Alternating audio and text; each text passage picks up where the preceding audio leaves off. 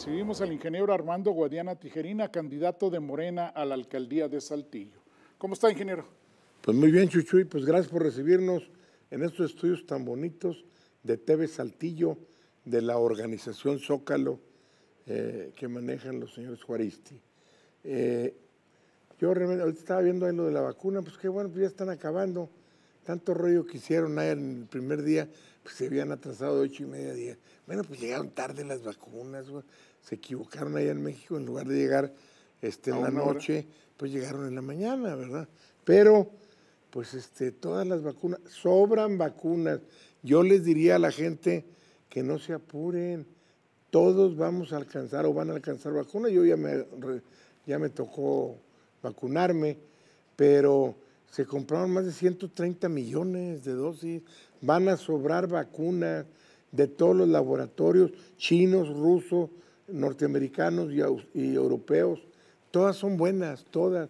La Pfizer, pues es un laboratorio norteamericano muy bueno. Oye, los que están pagando hasta 12 mil pesos por ir en avión a McAllen para que los vacunen y los traigan, bueno, van, pues van y vienen el mismo día. Sí. O fíjense, yo les voy a contar, les, les decía, este, que porque hicieron cola, pues la cola se hizo nomás el lunes en la mañana, pero pues el presidente López Obrador, el gobierno federal, está cumpliendo y qué bueno que ahora el gobierno municipal y el estatal estén coadyuvando en apoyar a este programa federal de vacunación este, en toda la República.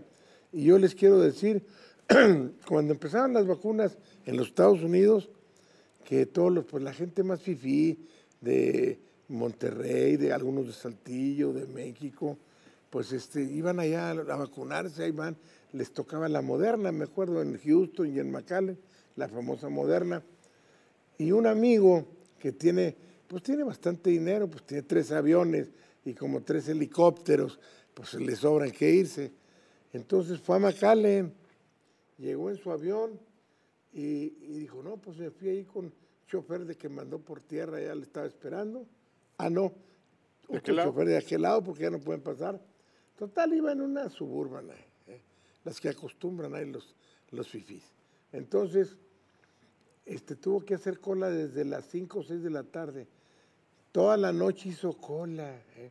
en, el, en el carro ahí en McAllen y este, dejó al chofer, pues él se fue a dormir al hotel. Pues, Entonces en la mañana ya les cayó bien desayunadito, les cayó a las 9, 10 de la mañana y, este, y todavía hizo cola, dice, no, me, todavía me fleté otras 3, 4 horas para que me tocara la vacuna mía, mi esposa, ya creo que dos, tres hijos que llevaba. Hay que se fregar el chofer.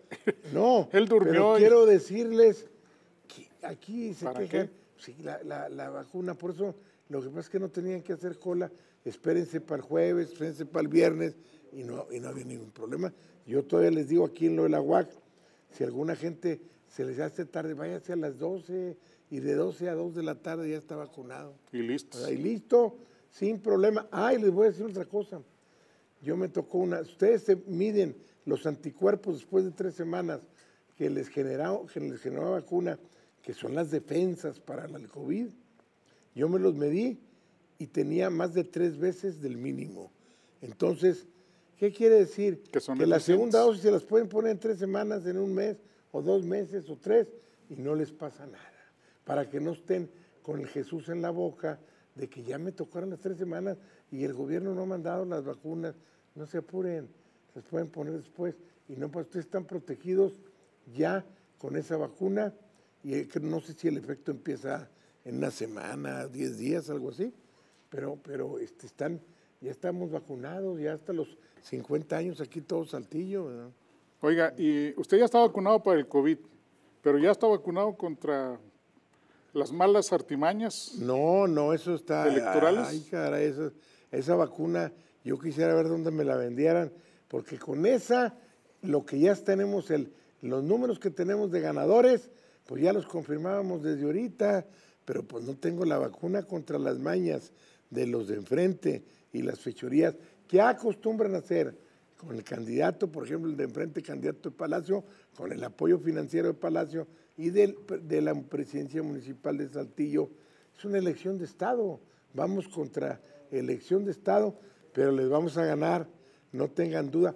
para beneficio de Saltillo, les vamos a ganar, estamos arriba. Ayer estuvo aquí Mario Delgado, el presidente nacional de Morena, y pues se quedó bien impresionado y, este, nos vino a dar el espaldarazo. La semana pasada vino la secretaria general, ayer me acaba de hablar Ricardo Monreal, mi amigo, el coordinador de Morena, el senador Ricardo Monreal, va a estar aquí el viernes con nosotros, el otro viernes. Y en el cierre de campaña me habló también ya otra vez el Oscar Eduardo Ramírez Aguilar, que es muy amigo mío, de senador de Chiapas y presidente del Senado. Que ya estuvo aquí. También. Que ya estuvo aquí, pero va a venir con otros cuatro o cinco senadores al cierre de campaña. El miércoles 2, si Dios quiere, aquí estará también. Este, o sea, y esta semana, pues ya, ya los de Guardia Nacional ahorita, en esto, este, a ver si hoy o mañana tengo una otra, otra reunión con el comandante del sureste de la Guardia Nacional. No queremos que nos ayuden, nomás queremos que nos vigilen para que respeten el voto de cada candidato, de cada partido, y todos felices y todos contentos. Y voy a ir, tengo una, cita ya con Ricardo Mejía Verdeja, subsecretario de Seguridad, paisano nuestro allá de Torreón, para decirle, hacer hincapié que necesitamos que nos ayuden a vigilar. les voy a recordar que la elección es concurrente, diputados federales y presidentes municipales. Ingeniero, son 47 días ya transcurridos, hoy es el 48 de campaña, se le están sumando candidatos de otros partidos, primero fue Vanessa Villarreal del PES y ahora fue Cristian Cabello de la UDC. Ayer precisamente aprovechando, qué bueno que tomó la decisión Cristian Cabello, el doctor, eh, una gente muy capaz también, bien preparado, que nos va a ayudar en el proyecto de llegar a la presidencia municipal con el apoyo ya de la licenciada Vanessa Villarreal Narro y de Cristian Cabello, el doctor, pues este, nos van a, todo aporta, unos aportarán dos puntos, otros tres, o lo que sea, uno, lo que sea, todos aportan y todos cuentan en, en la urna, pero ya tenemos, ya somos ganadores. Nada más como dijiste tú, yo quisiera la vacuna, aparte de la del COVID, quiero la vacuna contra las mañas y fechorías del PRI, del PRI, pero pues bueno, a ver cómo le hacemos. Bueno, vamos a ir a un corte, ingeniero, y regresando nos comenta su postura en torno a la denuncia, a la queja que hizo Tere Romo de que usted la andaba acosando. Vamos a un corte y enseguida regresamos. ¿Cuál denuncia, Regresamos con el ingeniero Armando Guadiana Tijerina. Les decía yo que había una denuncia, pero no una denuncia penal ni una denuncia jurídica, era una denuncia pública que Tere Romo este, eh, pues manifestó públicamente que usted la estaba acosando porque quería que se sumara a su proyecto. Bueno, tuvimos una plática y me invitó a su casa y todo, pero bien, ¿no? con mi paisana, mis respetos para la paisana Tere Romo, candidata del PAN. Pues este, sí, platicamos de eso, pero pues no llegamos a, nada y pues, realmente pues, la decisión es de cada quien. Yo le digo que trae poquitos puntos, pero bueno, pues es decisión. Este, yo creo que ahorita ya la lucha es este, nada más entre los de enfrente, ya saben quién, los del PRI y nosotros, ¿verdad? Entonces, pero bueno, estamos arriba. Creo yo que ya el triunfo ya lo tenemos, nomás tenemos que confirmarlo en las urnas. Por eso le digo, si la gente va a votar, vamos a ganar. Yo hago un llamado, aprovecho para hacer un llamado a la base panista de aquí, de Saltillo. ¿Por qué? Porque hay un compromiso, creo yo, moral con un servidor, porque en las elecciones del 17, en, después de ese domingo, de esas elecciones de gobernador, el lunes yo les llamé a todos los candidatos perdedores, a Memo Anaya, a Javier Guerrero, a Luis Horacio Salinas, a José Ángel Pérez y un servidor. Todos nos juntamos, le hicimos una rueda de prensa y al otro día se hizo la marcha histórica más grande eh, de Saltillo. En toda la historia de Saltillo jamás había habido una marcha de más de 50 mil personas, sobre todo voluntarias, ¿verdad? Generando dudas con acarreados. Entonces, y eso pues se debió precisamente a que yo los invité a todos, digamos a hacer algo, vamos a hacer esto, lo otro. Y luego le movimos ahí en la sala superior y bueno, ya se decidió en la lucha postelectoral que el gobernador fuera el ingeniero Miguel Ángel Riquelme y así hay que respetar lo que se toman, decisiones que se toman. Para eso están las leyes y para eso están las instituciones. Tenemos que respetarlas, se equivoquen o no, pero que esperemos las decisiones sean de acuerdo a la ley.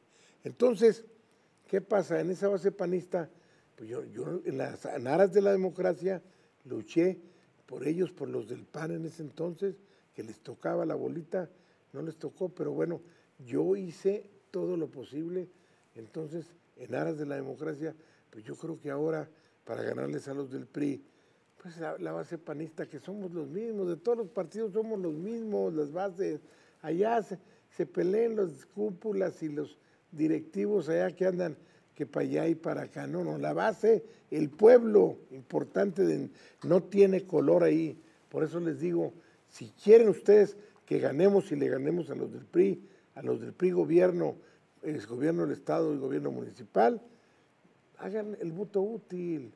Ya la candidata o candidatos de los demás partidos están con poquitos puntos. Bueno, ya en estos 13 días ya no van a crecer más, ya no, no van a crecer, crecerán un punto.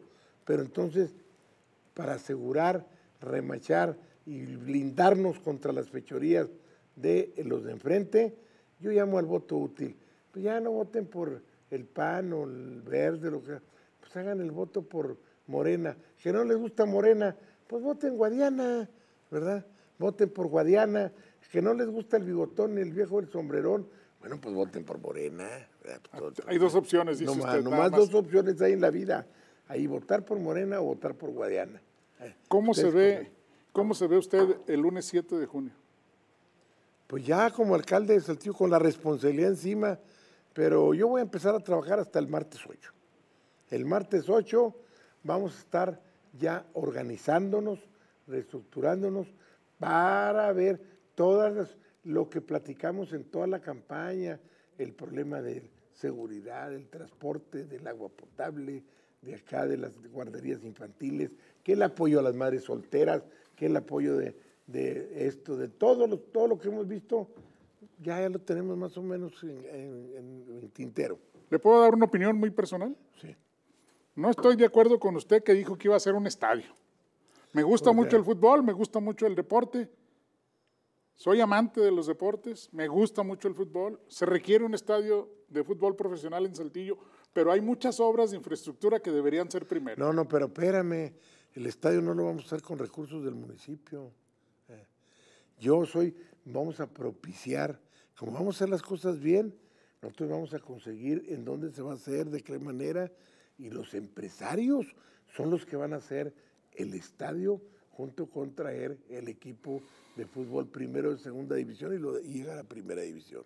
O sea, no es el ayuntamiento, claro, vamos a destinar todo el dinero a las necesidades primordiales, vamos a propiciar el tren, que es una necesidad, el tren eléctrico urgente, no le vamos a meter un peso del municipio tampoco, por eso hay que meter cabeza en todo, y pero con la cabeza que vaya con honestidad y ética, y todo el mundo apoya e invierte y sale adelante. Los problemas más graves que tiene la ciudad son de movilidad y eso hay que ponerle toda la energía. Sí, lo que mencionamos el otro día, el problema, ayer lo vi que fui al poniente, eh, iba con Mario Delgado y le dije, mira, aquí vamos a solucionar este paso que está en las vías junto con el, el paso de nivel. Ah, es, un, es un nudo mal hecho, aquí está, hay que resolverlo. Este, ¿Cuál otro dijimos? La salida de todo el poniente también para acá, para el, distribuidor, el, oriente. El distribuidor vial eh, aquí, eh, en, el, en los deprimidos pero también en fundadores, de fundadores, para subir Echeverría a las horas pico. También Otilio González, en horas pico se tarda usted hasta 20 minutos de fundadores Echeverría. Otilio y, ese, y sí, de fundadores. Aparte también, pues ya no, son, no me corresponde, pero también vamos a colaborar, vamos a salir adelante. Los chorros hay que hacerlo ya el otro año. No, pero primero es el de derramadero, porque son 18 Ah, bueno, derramadero también. 18 mil saltillenses trabajando en derramadero Derramadero, el tren eléctrico de Ramadero y lo de aquí de Vitualesio con, con Echeverría, de lo vital. Y luego lo de los chorros también es vital, pero ya para, para el asunto carretero. Exigirle a Cajufe, es la carretera más transitada de México y cobra muchas vamos cuotas. A exigirle, vamos a hacerle con todo. Y si es necesario una huelga de hambre le hacemos. Muy bien. Bajar de Gracias. peso. Gracias, ingeniero, por estar No aquí. solamente gracias a ustedes y decirle a los 18 años para arriba que tengan credencial de elector, vayan a votar, voten por quien quieran, pero si están de acuerdo con Morena Guadiana, voten Morena Guadiana, que Saltillo así sí gana. Vamos a un corte y regresamos, que tenemos mucha más información para usted.